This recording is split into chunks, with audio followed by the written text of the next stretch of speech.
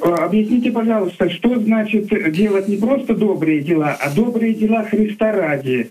Спасибо. Это говорится о мотивации. Апостол Павел говорил, «Э, едите ли, пьете ли, все делайте во славу Божию. Поэтому, если человек делает добрые дела, само по себе это неплохо.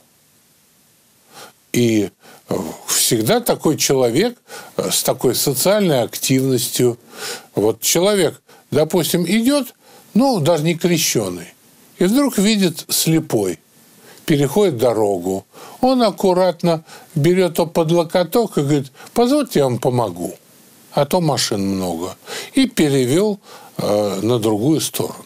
Хороший поступок, хороший. Но если человек этот не исповедует Христа Бога нашего, этот хороший поступок не приносит ему благодать. Потому что без веры невозможно угодить Богу.